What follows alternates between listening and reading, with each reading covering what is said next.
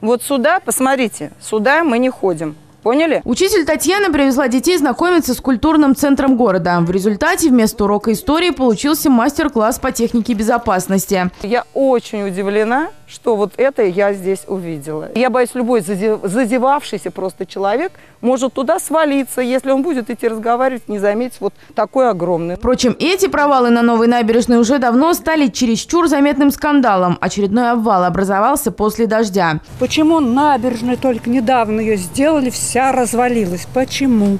Где он, этот подрядчик? Найдите его. Подрядчик найден давно, вот только дальше порога к руководителю компании «Саратов Гестрой» журналистов не пускают.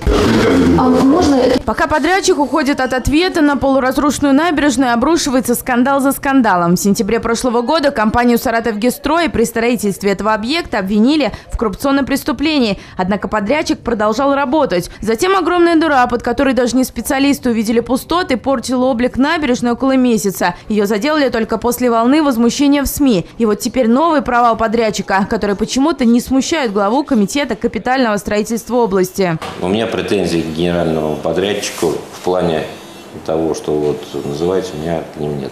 У меня самое главное, чтобы они выполняли все берегокрепительные работы, которые у них в контракте записаны. Если выполнен брак, то они, соответственно, его м, устраняют. Но брака вообще могло не быть, считают специалисты. Экс-чиновник Александр Стрелюхин в строительной отрасли больше 30 лет и хорошо знаком с деятельностью Саратов Гесстроя. Эту организацию я бы сегодня, э, так мягко говоря, старался бы не допускать до таких работ, поскольку она проявилась недолжным образом. Нужно это учитывать. И для того, чтобы исключить попадание на рынок соответствующих организаций с плохой репутацией, значит, отсекать на уровне заключения договоров. Но вместо этого контракт продлили до 2016 года. Кому выгодно такое партнерство, неясно. Также неизвестно, что будет с новой набережной. На вопрос жителей, почему пока один участок строят, другой разваливается, у ответственного чиновника весьма циничный ответ. Ничего вечного не бывает.